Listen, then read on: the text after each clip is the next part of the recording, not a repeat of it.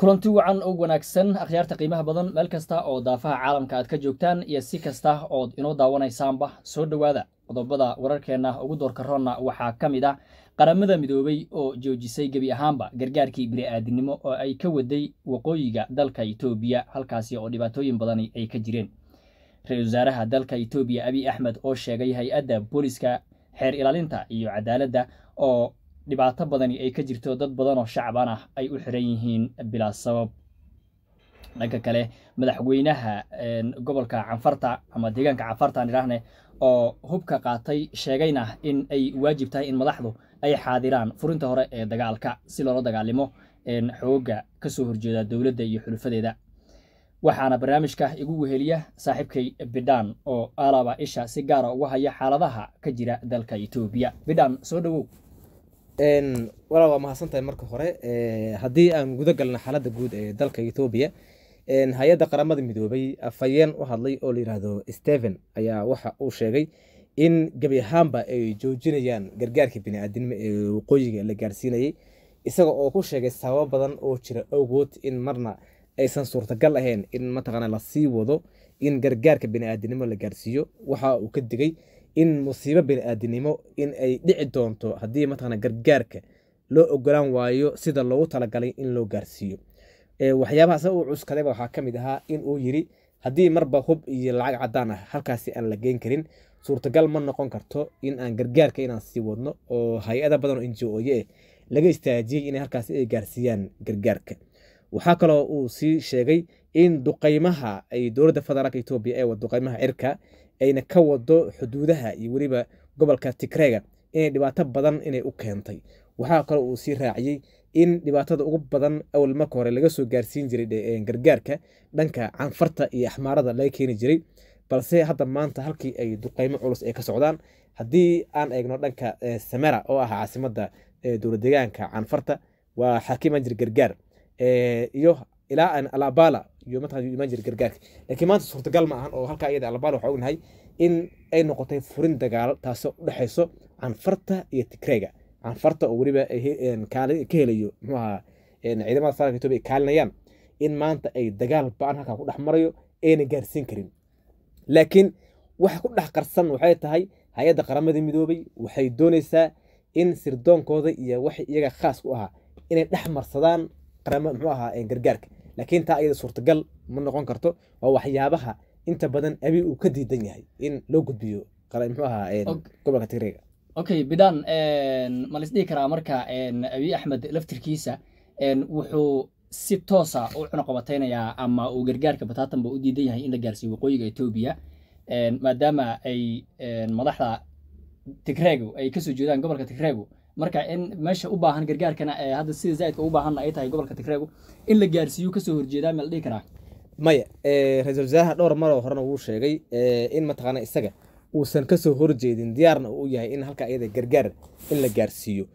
Laakiin dhibka iyo dhibaatada intaba mataqaana waxay ka imaanaysaa kooxahan sheegay inay yihiin mataqaana gargaar inay gaarsiiyaan inta badan gobollada dhibaatada ka jirto waxay samaysteen dad istaafa oo iyaga mataqaana u shaqeeyo. Dadkaasi oo haddana mataqaana ah dad gacan saar la leh t b l f oo waxyaabaha t b l f ay doonayso u gudbiyo. Taasi marka waxay ku keeni kartaa marka dhibaato badan in mataqaana dowladda etoobiya xogteedii inay iyaga ay bixiyaan marka arrintan oo gargaar gargaarka bini'aadinimo ee qaramada midoobey ay sheegayso in ay gobollada dad aad yani oola dhibaataysan oona u baahan gargaar bini'aadinimo ay jiraan. Danteeday ku fushanaysaa miyaa micnaha danteeday ku fushanaysaa teeda kale waxaa hadda imaan doono in dhibaatada ay sii badato oo dhibaato aad u fara badan dalka etoobiya ka dhacdo. Haddii hay'adahan oo dhowaan lagu khasbay inay gaarsiiyaan gargaarka hadday joojiyaan dhibaatada intaas way ka sii badanaysaa macluushaa badanayso dhimashadaa badan dee gobolkaasi waxaa u malayn doonaa haddii hay'adahan sidaad ay sheegeen ay joojiyaan iyadoo la ogyahay in raashiinka iyo gargaarka halkaa jiray in uu gowaabsiinu ku jiro in mataqana dhibaato badan halkaasi ay ka imaan doonto. Waa hagaag. Waxaa jiray sidoo kale hay'adda qaramada midoobe waxay ku eedeysay ciidamada dowladda dhexe iyo weliba sidoo kale xooga tigreega in labada dhinacba aysan tixgelinaynin gargaarka ay u fidinayaan dadka u baahan sida ay sheegeen waxaanay sheegeen dhowr dhowr boqol baabuur gaarayso xamuul ah inay ku maqan yihiin oo halkaasi raashiin deeq ah gaarsiinayay. Marka qaramada midoobey marka haddii marna dhinac ay yani heshiis la tahay aan idhaahno oo sida hadda aad hadal kaga dhawaajisay ay xiriir la leedahay xooga t b l f dhinacna ay ku eedeynayso in ay baabuurteedii xamuulka ahaa ee meesha ay gargaarka ugu aadiyeen ee la afduubanayo. Marka hadalkaasi si ahaan buu isku qaban karaa. Wuxuu isku qaban karaa sideedaba hay'adahan inta badan ka socdo muxuuha beesha caalamka. Dadka ugu badan ee dhibaatooyinka badan dhibaatooyinka keenay mataqaana ka mid yihiin gobollada colaadaha ay ka jiraan intadaba sida geeska africa dhibaato badan bay ku hayaan. Iyagu waxay sheegaan inay gaarsiinayaan gargaar laakiin dhibaatada ay geystaan baa ka badan fiiri mar waxay eedeynayaan t b lf mataqaana ay dhacaysa gawaaridii dhibaato geysanayso mar dooda dhexe eedeynayaan. Laakiin haddii mataqaana ay ka dhex baxaan iyaga waxaan fili lahayn in mataqaana gargaarka la gaarsiin lahaa wax badanna mataqaana dadka dhexdooda isku qaban lahayn iyaga. Waa hagaag ra'isul wasaaraha dalka etoobiya abiy axmed waxa uu sheegay in hay'adda booliska xeer ilaalinta iyo cadaaladda garsoorka ay dhibaatooyin badan ka jiraan dad bilaa dembi ah oo shacab ana ay u xiran yihiin bilaa sabab ay u xiran yihiin iyagoon loo tixraacin sida saxda ah oo sharciga loo fiirinin. Waxaa ka mid ahaa dad badan oo qowmiyadda tikre ka soo jeeda oo laga keenay sacuudi carabi laga soo tarxiilay baa waxaa jiray markay dalka dib ugu soo laabteen in dhammaantoodba xabsi loo taxaabay iyagoon si nidaamsan loo xaraynin ama sharcigii saxda ah aan loo marin marka abiy axmed marka ma dadkaasu ka hadlayaa oo yani wuxuu diidan yahay dadkan shacabka tigreeba ha ka soo joodaane maadaama dagaal ay kula jiraan haba ka soo joodaane ma dadka shacabka etoobiyaanka oo dhan buu ka hadlayaa misane. Dadka isaga taabacsan buu ka hadlayaa dhankaasi abiy wuxuu iska jeedinayaa beesha caalamka oo cadaadis aad u badan ku hayso waxaan ogeyn in beesha caalamka horey u sheegeen dad ilaa kun iyo shan boqol gaaraya oo tigre ah inay xiran yihiin sabab la'aan bilaa dembi oo dadkaasoo ku noolaa adis ababa iyo nawaaxigeeda inay xiran yihiin. Iyo kuwo badanoo la xiray oo ay ka mid yihiin dadka hadda mataqaana dalka hadda yimid. Iyo kuwo kaloo ka sii horreeyey ee dhammaanna loo beegsanayo qoomiyad ahaan loo beegsanayo. Marka asaga wuxuu rabaa marka inuu iska dubo oo u dhaho laamaha ammaanka yaa dhibaatadaasi samaynayo. Laakiin amar iyaga ka soo fulay oo dadka taabacsan t b l f in la xirxirana horeyaa mataqana loo sheegay. Intii hadda la geliyay dalka etoobiya xaaladda deg degana way ka sii dartay oo dad qof kasta oo sheeganayo tigre ka soo jeedo amaba taageero u ah in mataqaana la xirayo. Wayna socotaa arrinta iyadaheed marka ra'isul axmed wuxuu mataqaana uu beesha caalamka wuxuu ku wadaa marin habaabin. Laakiin hay'adaha amniga isagaa u weyn isagana wax ka godaa marka waa in isku sharneyn ku sameeyo muxuu ahaa qaabkii uu sameynaa taliyaashiisa iyo muxuu ahaa xeryaha booliska dhammaan mataqaana taliyaal bay leeyihiin.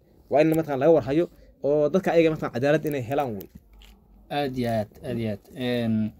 Dhanka kale madaxweynaha gobolka deegaanka canfarta ayaa sidoo kale waxa uu sheegay in dagaalka in la galo rasmi yani ay tahay mid lama huraana.